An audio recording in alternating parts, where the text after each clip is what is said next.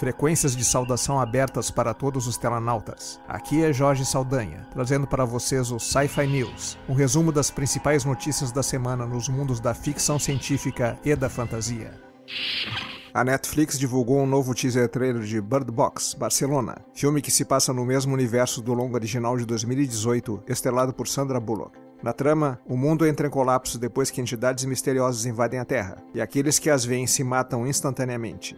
Sebastian precisa enfrentar uma jornada de sobrevivência pelas ruas isoladas de Barcelona, mas ao se aliar a outros sobreviventes em busca de um lugar seguro, eles descobrem uma ameaça ainda mais sinistra que não para de crescer. O novo filme é dirigido por Alex e Davi Pastor, trazendo no elenco, entre outros, Mário Casas, Patrick Criado e Georgina Campbell. Bird Box Barcelona estreia dia 14 de julho.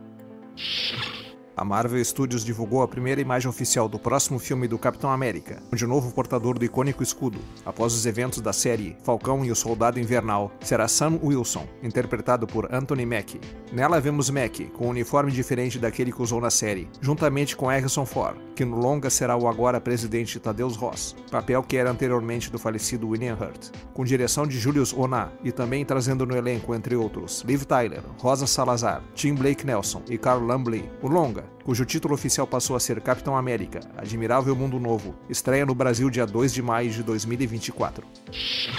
A revista Vanity Fair publicou uma matéria sobre a nova ficção científica de aventura Rebel Moon, do diretor Zack Snyder, que buscou inspiração em duas das suas paixões, os épicos de samurai de Akira Kurosawa e Star Wars. Além de imagens inéditas, o artigo dá mais detalhes sobre a produção, que devido à longa-metragem será dividida em duas partes, com a primeira chegando à Netflix dia 22 de dezembro.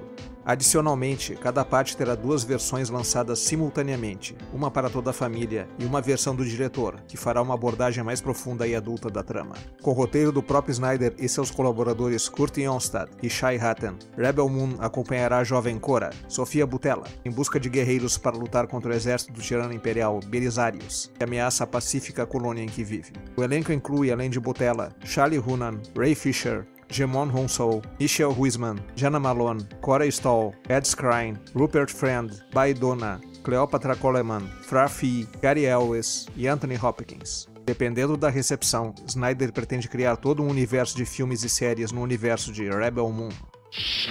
A Amazon Studios divulgou o trailer da segunda temporada da série Good Omens, baseada no livro Belas Maldições, de Neil Gaiman e Terry Pratchett, e que chegará ao streaming Prime Video dia 28 de julho. A nova temporada, que inicia com o reencontro do demônio Crowley e o anjo Aziraphale para juntos descobrirem o paradeiro do arcanjo Gabriel, baseia-se em ideias que Gaiman e o falecido Pratchett tinham para uma continuação literária, que nunca foi publicada. Gaiman e o diretor Douglas McKinnon retornam como showrunners, e os seis novos episódios foram escritos por Gaiman e Josh Cole. Além do retorno de David Tennant e Michael Sheen como os protagonistas, na nova temporada também teremos John Hamm, Ty Tennant, filho de David, e Peter Davison, da série clássica de Doctor Who.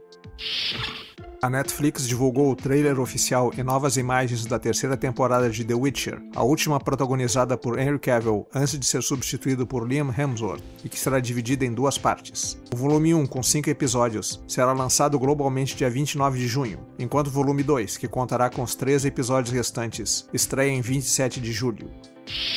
Em paralelo ao seu trabalho nas continuações de Avatar, o cineasta James Cameron revelou que já há alguns meses está escrevendo o roteiro para um novo filme da franquia Exterminador do Futuro. Apesar do fracasso dos últimos longas, com os quais não teve envolvimento direto, Cameron acredita no potencial de uma história mais focada na inteligência artificial, que é o assunto do momento, do que em robôs assassinos. Ele não revelou nenhum detalhe da trama, mas pelo que declarou é muito provável que o novo filme seja um reboot ou prelúdio focado na criação da Skynet, a inteligência artificial que eventualmente ganha vida própria e declara guerra à humanidade.